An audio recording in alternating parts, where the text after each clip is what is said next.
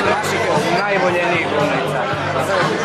Da ćemo moći da gledamo još nekom TV projektu krene nova sezona, kako su vaši planovi po tome, zato što znamo da ste odličan showman, pa da li da pevate ili... Pa da ti kažem, ja imam puno, puno stvari koje sam započela i koje su u toku i tako. Treba e, da počnemo ovih dana da snimam jednu seriju na RTS-u koja je teenage serija, jedna vrlo ozbiljna, ozbiljno napisana sa pravim problemima mladih, e, ozbiljnim problemima. Tome se veoma radujem. Onda e, radi, uradila sam jednu pilot emisiju za jednu seriju za koju ćemo vidjeti da li će ići.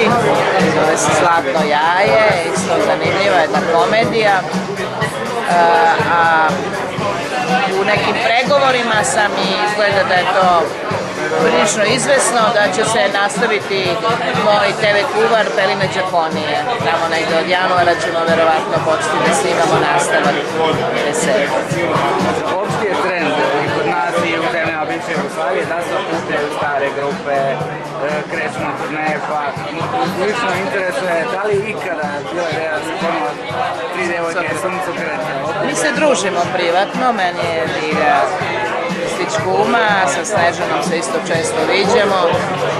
E, tako da svako od nas ima mnogo posla i, i ne verujem da ćemo se okupiti možda tako ponekad se skupimo za neku priliku, neko nas pozove pa mi otpojamo par pesama i ovaj, to nam pričinjava zadovoljstvo, ali lepo je što, što su ostala ta prijateljstva i to bilo zaista nešto izuzetno, lepo, bili smo mladi, ali ovaj, ne verujem da ćemo se oko tog projekta pokuspiti.